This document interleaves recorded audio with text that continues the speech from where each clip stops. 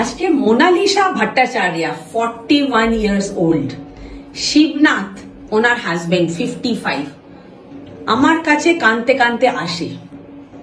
কি হয়েছিল? এক বছর আগে ওনার একটা মেয়ে, একটা ছেলে ছিল। মেয়ে আছে চোদ্দ বছরের। ছেলে এক বছর ছোট ব্লাড ক্যান্সার হয়, আর হঠাৎ করে আমাদেরকে ছেড়ে চলে যায়। তখন মোনালিসা সেই কষ্ট ভুলতে পারেনি। পশ্চিম মিদনাপুর, সেখানে ও খুঁজে নেয় আমাকে। কোথায় পশ্চিম মিদনাপুর আর কোথায় Siliguri family clinic IVF centre? ও ওর স্বামীকে বলব যে, আমি যদি আইভিএফ করি, আমি কবিতা মন্ত্রীর এখানে করব। ফর্টি ওয়ান ইয়ার্স এর মোনালিসা, ফিফটি ফাইভ ইয়ার্স এর হাজবেন্ড আমি জুটে গেলাম ওদের নিজের বাচ্চা তৈরি করতে।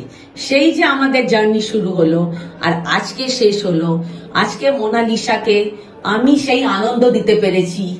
ও সেই মনে কষ্ট। ম্যাম, আমার সেই ছেলে যে ওপরে চলে গেছে আমাকে এখানে দিন। সেই আজকে ফার্স্ট টাইম আইভিএফ করে আজকে মোনালিসার গর্ভে বেবি বসেছে আর হার্টবিটও চলে এসছে। আসুন, আমরা মোনালিসার মুখে কিছু শুনে নিই। কিছু বলো মা যাদের মেয়েদের তোমাদের মতন কষ্ট ওদের কিছু বলো। সবাই ম্যামের কাছে আসুন।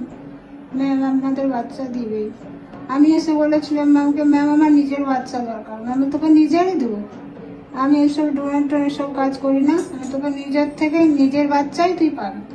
তুই আমার উপর ভরসা রাখ তুই নিশ্চয়ই ভগবানের উপর ভরসা রাখ। তুই বাচ্চা পাবি।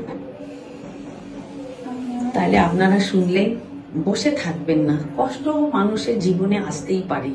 এটা একটা ডিফিকাল্ট ট্রিটমেন্ট কিন্তু আপনাকে আমি পুরো সহযোগিতা করব। ধন্যবাদ।